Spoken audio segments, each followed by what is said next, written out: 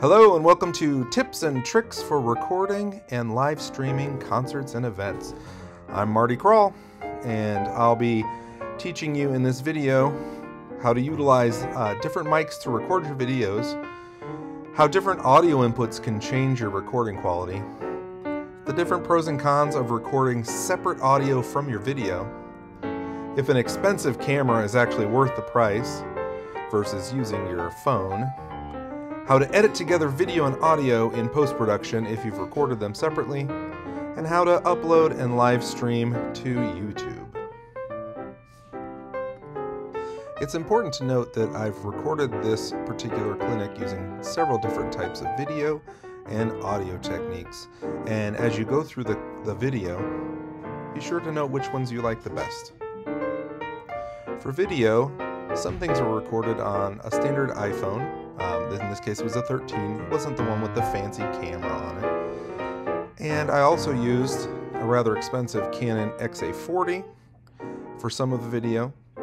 And the things you see on the screen or me recorded directly to this clinic were done on a MacBook Pro, just using the built-in camera and some screen capture apps. When it comes to audio, some things were recorded on a Rode Wireless Go microphone system, as well as the onboard camera mics, whether that be on the iPhone or the XA40. We also used direct audio, which would be a microphone plugged into a soundboard and then plugged into the camera, or sometimes a microphone plugged directly into the camera. Finally, we also used uh, the built-in microphone on a MacBook Pro for some of the tutorials through the apps. If you end up with any questions or concerns or confusion at the end of this clinic, you'll find my contact information as well as a link to my YouTube page where you'll see other tutorials. Thanks for watching. Hello, uh, my name is Marty Kral. I'm the music department chair here at Ashland High School, and we're filming from our smaller auditorium here at Ashland High School we call the Little Theater. And we're going to talk today about different ways to live stream a concert or simply record a concert for viewing later. Uh, maybe there'll be some tips or tricks uh, during this clinic that'll help you come up with better recordings or at least archive things so you have them for the future. Let's get started. When it comes to recording band concerts or choir concerts, orchestra concerts, anything like that, audio is the key. Deep down, the video is just supplemental to the audio. Parents love to see their students on stage, um, and, and we love to, to prove that was us at that moment in that time, but really, without good audio, what's the point? So right now, you're hearing me um, through this camera, and the camera is zoomed in a bit. It's about 60 feet away. Um, and I'm wearing what we call a lavalier mic, and we'll talk a bit more about this later. So that's one way to hear what you're doing. You could have somebody mic'd or something mic'd. Okay, now you're hearing me through the main speakers in the auditorium, but that's being picked up through the microphone at, on the camera. So the microphone is in the back of the house, right in the center, picking up what's coming off the main speakers. Now, if you're recording lots of things that are mic'd, this may sound good to you. If the whole room is mic'd, you may like this sound. Um, if one person's mic'd and the rest of the room is live, you may not like the way it balances. That's really going to depend on your microphone that you're recording with. And we'll talk about some options in a moment, but I wanted you to hear the difference in the space. The first one was a lavalier. Now this is with a mic going through the house system and the microphone and back on the camera hearing that. Now we've just got me talking really loud, no microphone, no amplification, and the microphone attached to the camera is recording what it's hearing in the space. So right now we've set up three different scenarios. We've got live sound right now, we've got amplified sound going to the microphone, and we had direct sound coming from a lavalier mic into the camera. We still have one more way to try.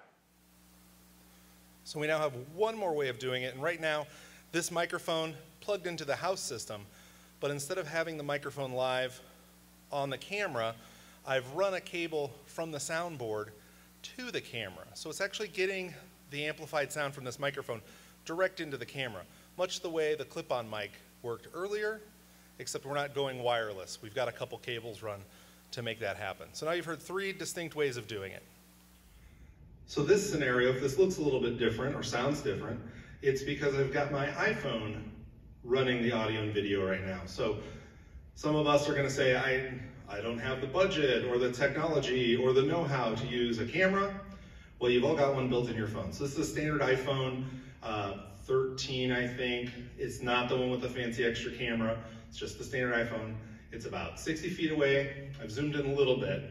And what you're hearing right now is the sound coming from the main speakers directly to the iPhone. Nothing's plugged in, nothing's added. And what you're hearing now is me talking live with no amplification directly into that same iPhone that's about 60 feet away, right at the center of the house. Uh, so you can hear the audio differences and really decide for yourself what makes sense for hearing people talking. But now we need to go to what's it going to sound like to hear actual songs on the stage, actual sound.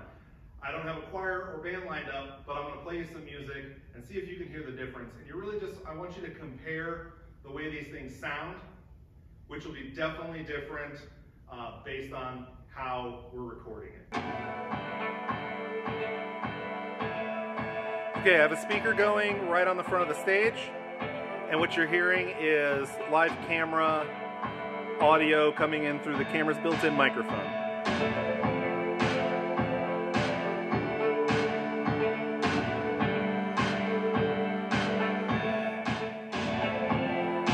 Now, I don't know if you're hearing a difference here. This version is also live through the camera's microphone, but we have the microphone on in the house, so that's picking up a little bit and sending a little bit of presence through the main speakers, although it might be pretty negligible.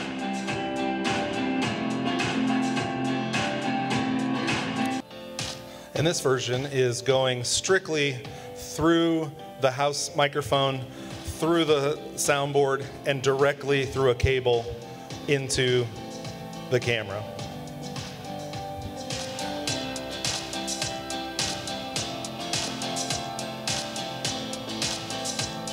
Okay, well we're at a, a, typical soundboard, and I apologize in advance. I was not built to hold things steady, so hopefully this camera doesn't freak you out too much. But there were a lot of dials on a soundboard, and a lot of the, hopefully you have a sound guy that knows what he's doing and can adjust this accordingly. So what I did was I ran the microphone into one of the channels and turned that up to the volume I needed and then here's our mains over here.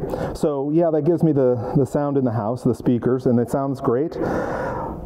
But one of my scenarios had that microphone going directly into the camera. So the way I did that was I plugged an additional cable into one of these aux sends right here. So this would be very similar to like a monitor mix if you're used to having that. And you can also plug it into um, a record send. Um, there's lots of ways that other boards work. This particular one, I plugged it into aux 1 right here, and then that came out and I plugged that cable across and into my camera. So what that allowed me to do was have a separate volume for the house, which was right here. I could move this up and down, and a separate volume for what I was sending to the camera. Now, that particular microphone won't necessarily pick up your entire group on stage.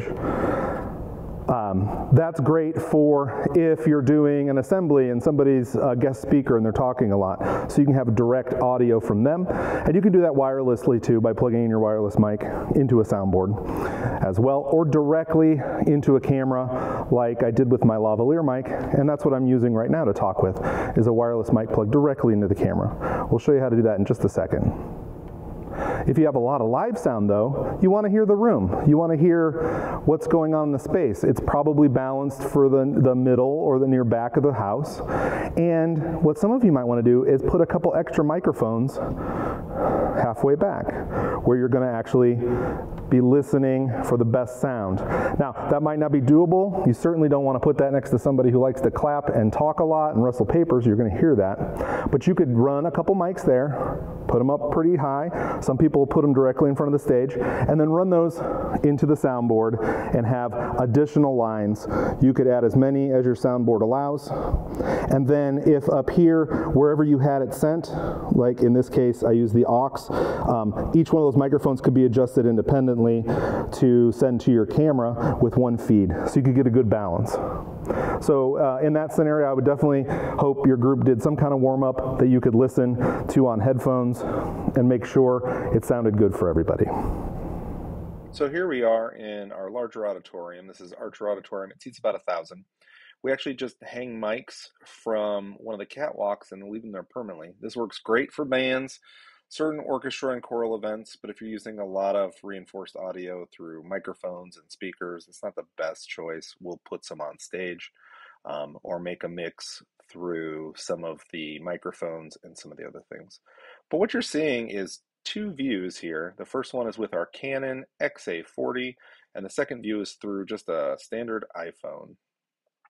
And I hope you're noticing video wise, um, here it switches to the iPhone there's there's differences, but it's not huge.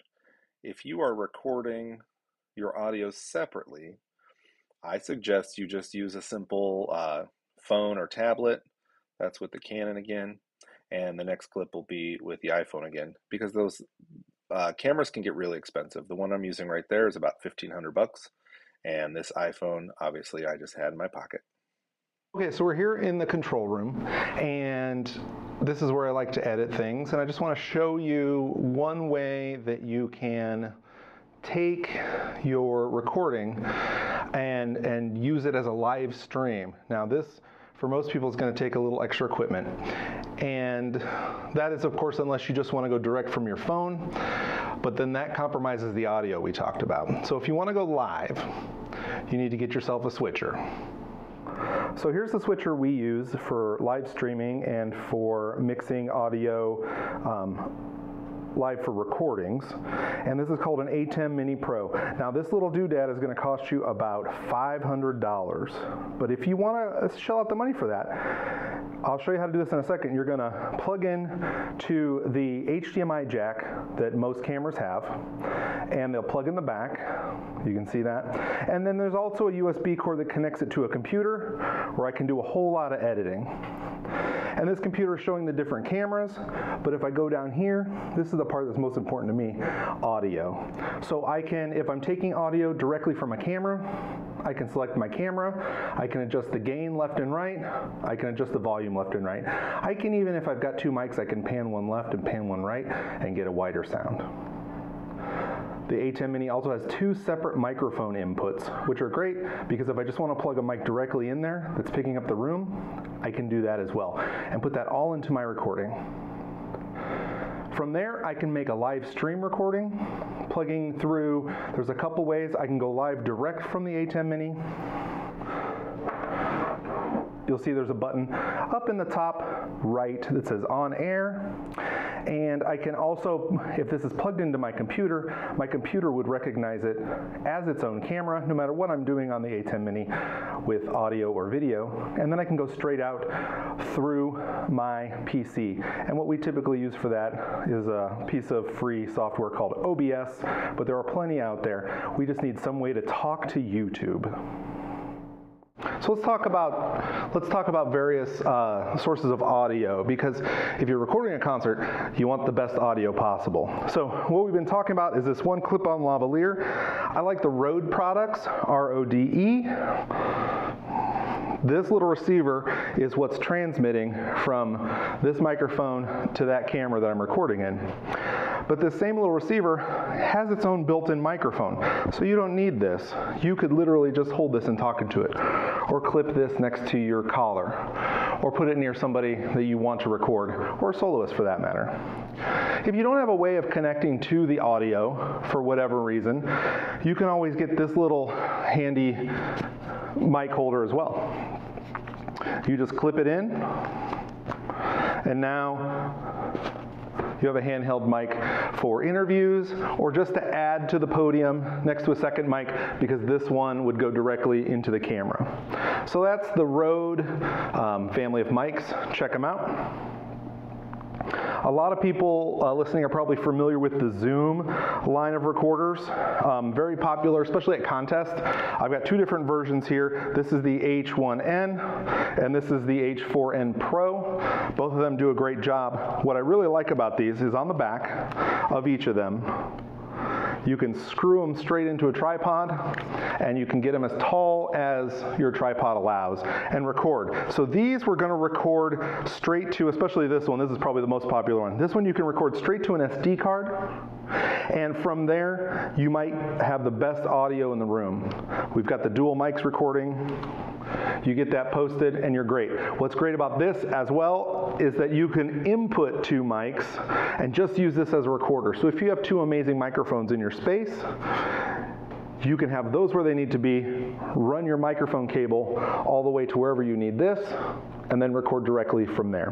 One other thing that's great is there is a line out, and that's your standard uh, 3.5 uh, jack. You can plug that directly into your camera or another device. So I recommend these two, but what you're doing there is you're recording your audio separately, and I'll show you how to connect those later on in the clinic. Last thing I kind of like, it's the same idea. This is just a simple microphone. This is also by Rode. This is an NT4 what they've come up with is a great way to have two mics cross each other and they have a special plug in the back and it'll come with a cable that actually splits it so you can have a left and right or a one and two however you want to do that gives you the same sort of extra input as this except it's all built in in one microphone but obviously this needs to go straight into your board Finally, if you're recording direct with a handheld microphone, a standard microphone plugged in with an XLR cable, most cameras come with a standard jack to plug in for uh, microphones. In this case, I just got an adapter, XLR, boom. Now my mic can be plugged directly in. Some cameras actually do have the XLR input as an add-on or a mini XLR as standard um, on their cameras. It just depends on what you get. So that's one more option if you want to plug in direct. Or use these two ideas when plugging direct from a board into your camera. Okay, I'm recording through my iPhone again because I wanted to have a picture of what I recorded all the other stuff through. And this is um, a Canon XA40. There are plenty of brands and plenty of styles out there, but here's what you want to look for. You want to look, if you're going to buy a camera, you want to look for one that has a couple of these, and these are pretty standard. If I open this box here, we have right here a headphone jack.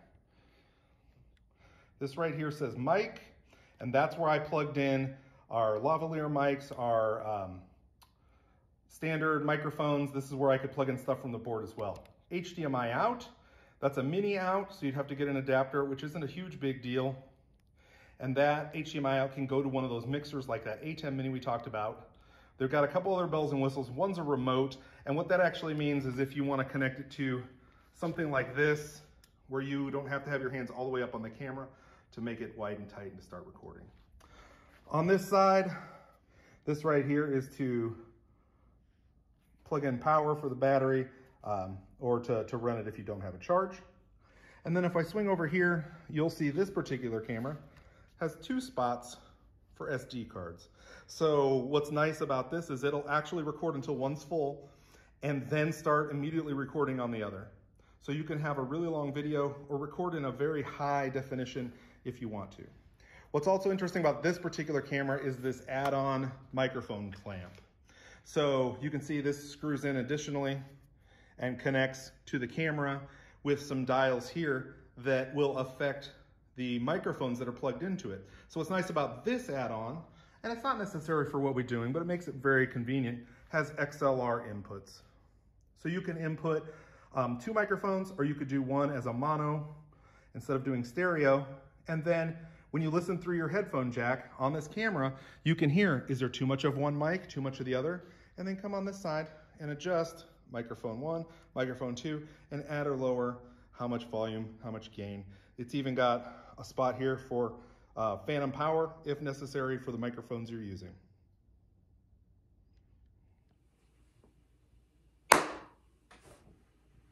All right, so if you think back to older movies you've seen or behind the scenes clips or movies about filming things, you'll see they have that old school clapboard that introduced the scene and that sort of thing.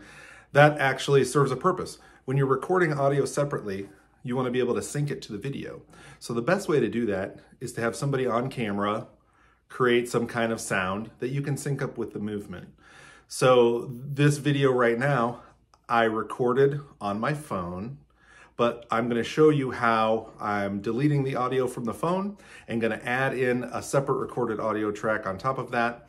Um, I didn't record this in a way that meant for better audio. So when it's all said and done, it may sound great, it may not, but I just wanna show you how to put that together. So once you've filmed your concert, and audio recorded your concert separately, if that's how you choose to do it, because you had better microphones, but you realize your iPhone camera or whatever device has a great camera on it, so it looks great, how you're going to put those two together afterwards.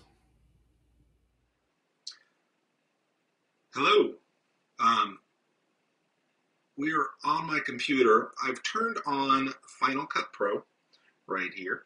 And some of you uh, may have a Mac your best bet is to download iMovie. It's a free program. If you're on a PC, there are tons and tons of options. Um, Windows Movie Maker is sort of the classic version of what we're about to do. And they all do things slightly differently, but the concepts are still the same. First, what you want to do is import your media. So I did that um, right up here. We've got the, let me turn my speakers off.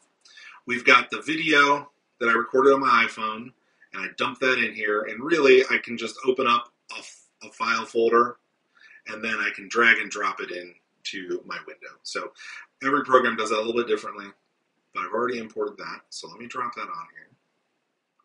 And the next thing I need to do is add my audio, which I've already dropped in to my list. I just recorded that. Let's say we recorded it with a, a wonderful microphone at a concert. So we're, we're imagining this is a maybe an hour, hour long concert video, and the same length, give or take, with the audio. I'm going to drag this audio file down here. So we're imagining I recorded this with some microphones in a concert hall or through a soundboard or what, whatever works for you. Maybe those Zoom recorders, um, and then they're on an SD card and I dump that on there. So this is an MP3 file. Maybe you're using a WAV file, whatever works for you. Now, I've got to line this audio up with this video, and this is why we used this clapboard before. So I'm going to zoom in just a bit, and you can see this spike in the audio file should correlate with this spike in the video, and, and I can visualize that because of the clapping. So I'm going to scoot this over, and every single program has a different way of trimming, and so you can see I've got, I must have hit record on the audio, before I hit record on the video, which is why this clap spike in this in this audio um, happens later because I started it sooner. So um, every program has a way of cutting and pasting. You can sometimes just select that and trim it um, up in the settings. I can trim it, or I can cut it and delete hunks. Or a lot of programs I can just, if it's highlighted, I can grab the end of it and tell it to start later. Now I have space to move this back, and I'm going to try to line those two up as close as I can. Okay. Now let me zoom in even more, and we'll see how close I got.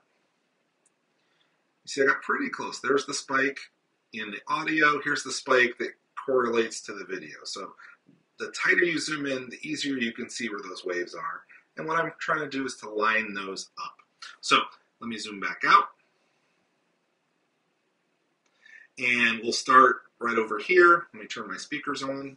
Hopefully you hear that okay. And here we go.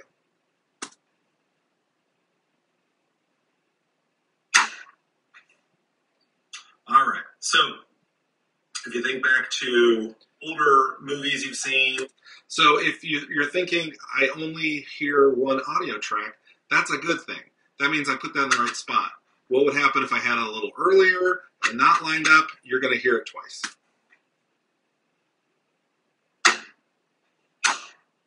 All right. So, all right. So, you think back. To- So we don't want that. Let me undo that, put it back. I think they were lined up pretty well. Now, if I highlight this, most audio programs have a second window, a secondary window where you can adjust audio. So if I click on the speaker here in iMovie, it's very similar. And here's my volume. I can pull it all the way down. You can also go over here. And if I get right on this little line that goes across um, the video, it is the audio track. And right now it's at zero decibels. And that doesn't mean zero decibels of sound are coming out. That means there's zero change in the decibels that it was recorded with. So right now there's no change. If I add decibels, I make it louder. If I take away decibels, I make it softer, and I'm just going to pull it all the way down until it disappears. And what you may have noticed up here in the corner, this thing just moved along with it. So there are a couple ways of, of getting rid of the audio. Some programs you can just click a clip and then click mute, and then it's gone. So I got rid of the audio through the camera, and now all I have is what what I hope is your really clean, good audio that you recorded with microphones, and now it's in sync with the video. So if I click play,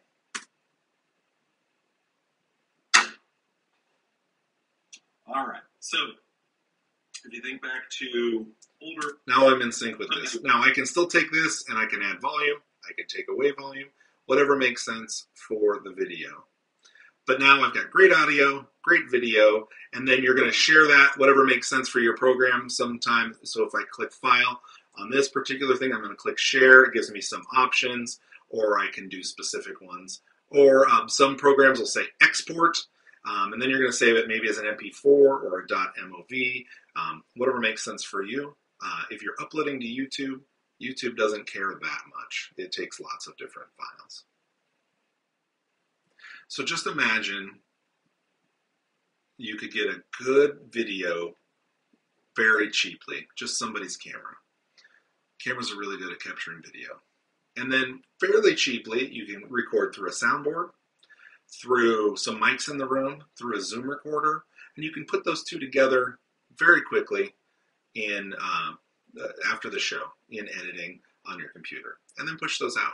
Now, of course, every one of these programs comes with extra little doodads. You can add pictures and tiles, and um, so if I click over here, um, I can add, I can generate some backgrounds. So if I want, if I want to start with, uh, let's say this curtain and I go all the way to the beginning and I put this curtain here. Now I've got this great curtain that's going to float around until my video kicks in and I could use that to put all the information about the concert. Maybe I'm going to put the title, the name of the group, the date, that kind of thing. And then when this is done, it'll pop right into the video of your concert.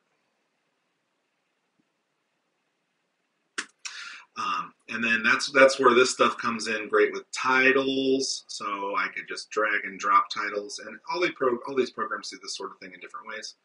And if I, I can go in and just change the name of that to be whatever I want it to be for my concert.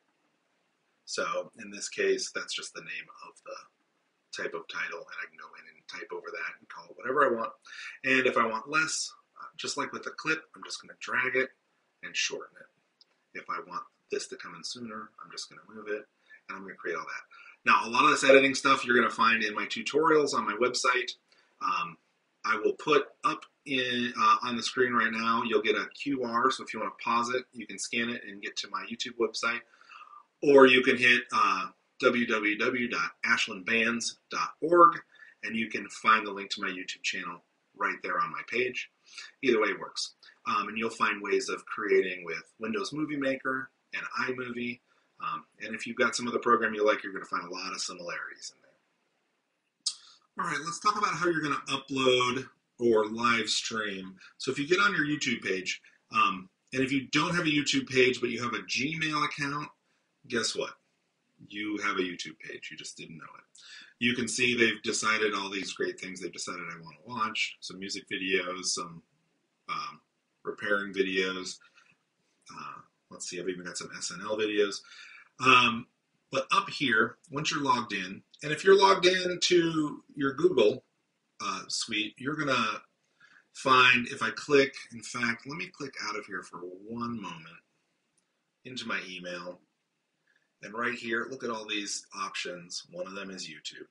So if you click on there and you've never logged in before, that's probably the best way to get started. and then it may ask you some login questions to start. But you've got this channel already available. I'm going to click here on this. It looks like a little camera with a plus sign. It's going to give me two options, upload video or go live. So if I've edited my video and I've saved it and I know where it is on my desktop because maybe last night was a great concert and I recorded the video on my phone in the back of the house and I put up two microphones or a Zoom recorder and recorded the audio and then put them together on my computer, maybe in iMovie, maybe in Windows Movie Maker, or maybe I, I bought another platform that, that works great for me. I'm going to click upload. When I click that, it's going to send me to a page and it's going to just ask me to drag and drop my video. So when I do that, I have to select my file and I can literally come over here and find my file. Let me click desktop. I'm just going to drag the video I just made about um, putting audio and video together. I'm going to drag that on there. It's going to recognize it as a video file. Then it's going to want to know what to title it. And I'm just going to say clinic test video. You can add a description. This is where you could um, put the concert program, you know, the list of songs or what groups they were performing, that kind of thing. Thumbnail is nice. This is the picture you're going to see that you see on uh, YouTube before you click on a video. There's always a still there. So it's going to randomly pick one. You won't you won't know what these are until it's actually uploaded. It's uploading right now. Um, but then it'll take some random screenshots. So you can select those later on. Otherwise, it will generate one on its own. But you can upload a thumbnail. So if you had a picture of the concert program or something, save it as a PDF or it's probably a picture file, I should say. Save it as like a PNG or a JPEG. Then upload that. That will be what you see on the screen before you click the thing. So some people like to adjust that. You can decide what's going on for here. I always click made for kids because that's the kind of stuff I'm doing. If I click next, all these extra things you can add, but you can add these later. So if you want to add subtitles, if you want to add an end screen or things to click on because you want to send people somewhere else, you can add those. Some people like to have that at the end, like for more information about my music program, click this link and it sends you to a website or something.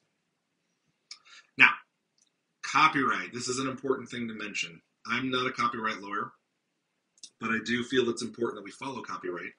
And YouTube will flag your stuff if it notices things are copyrighted. I would say probably 99% of every concert video you post online is going to be copyrighted.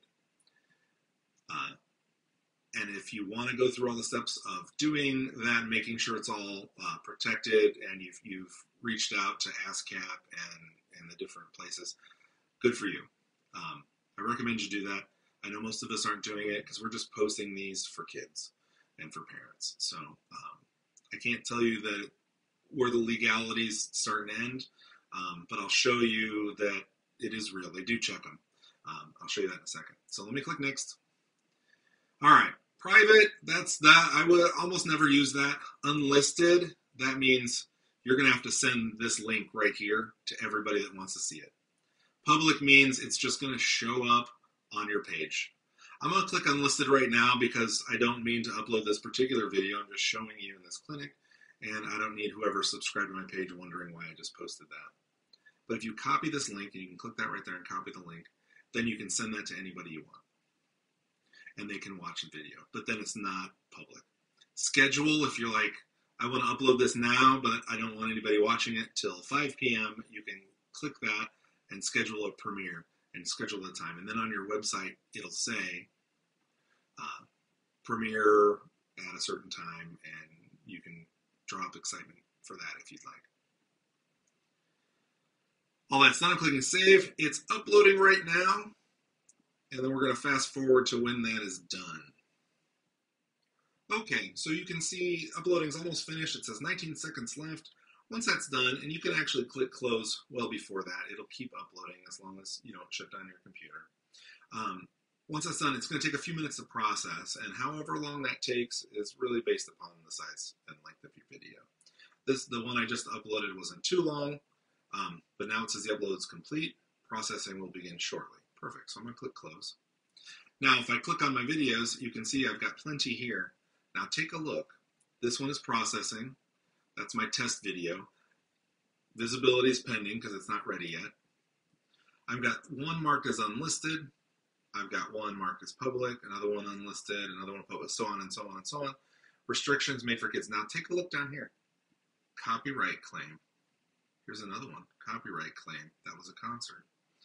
Um, I got a couple marching band videos in here. This one says copyright claim. Now, that's not necessarily something to get upset about, but it is a real thing. People uh, on YouTube or, or their algorithm does listen for things and says, I think I just heard something copyrighted. So, no, that's aware.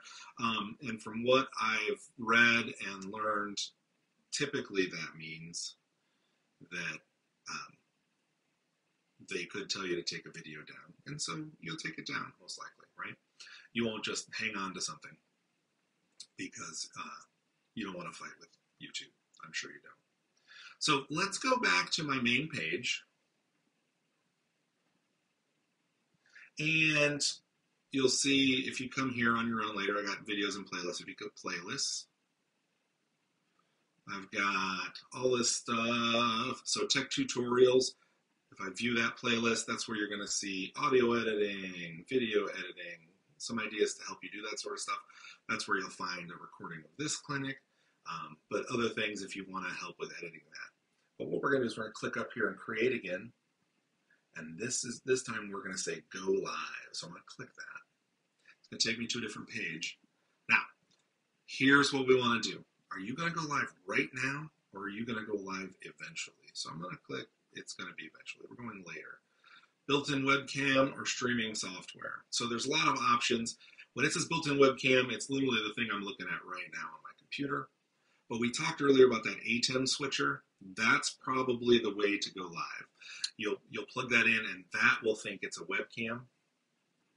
And when you do that, we're going to allow. We're going to say OK. Yes, we would like to access cameras. And now you can see in the background my camera. And I have to put in the title of the event, description of the event. And this looks a lot similar to uploading a video, except we're going live. And when you're done, once you're done filling all that out, you are literally live streaming to uh, YouTube right then. You can adjust the speed. Uh, so if, if you want a little buffer, you know how sometimes live videos, um, what you're seeing actually happened maybe 10, 20 seconds ago. You can set that up through Google as well. And then over here, you can manage your different live streams. So I can set up, if I know I've got a slew of concerts coming around Christmas time, I can set up all those and have those ready. And then I can send those links out. Because once I set up on my stream, if I'm going to schedule something, it looks the same. But once I get to the next page, customization and visibility, that's where I'm going to decide who can see it and when they can see it. But I can send out those links ahead of time hey, here's my live stream for this concert or that that event, and then they can have them ahead of time because I scheduled them. If I just go live right at that moment, then somebody's got to be on my page and know what's happening. Now, the reason I'm going to tell you this part's tricky is because y- you are going to be stuck with whatever audio and video you send out.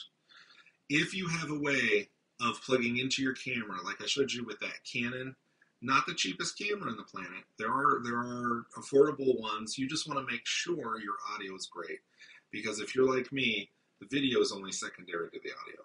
I want great video uh, and great audio, but if I had to pick one, audio is the one I want. So what I'm suggesting is maybe you tell people live stream is great. Here's a way to do it. You can watch this video. I can show you how to do it. You want to shoot me an email later on I'll show you how to do it. But maybe you want to tell parents, hey, the concert's live Thursday night at 7. And if you want to watch the concert um, on your own at your house, I'll have it ready by Friday night at 7. So uh, I just like the control over making sure it's the best audio and video put out there that I can do. And when you live stream, sometimes you suffer a little audio. I would suggest you go back on my YouTube channel and just click on some of the live videos. The older they are, as in just over a year ago, when we were trying to figure out what we're doing, I believe October of 2020, it's probably one of the first ones. Um, I, I, will definitely tell you, I was not happy with the audio. And as we move along, sometimes the audio gets better and better and better and better. And then sometimes we have another hiccup because of the way the live stream's working. Um, so it's a great option for times or situations where parents, grandparents, people out of town can't visit. But if it's not essential for them to watch it while it's happening, I would consider recording it on something simple like a cell phone and getting some great audio and then putting it together. It'll take you maybe 20 minutes to put it together and then process that video, put it up on YouTube. Um, so there's my advice on that.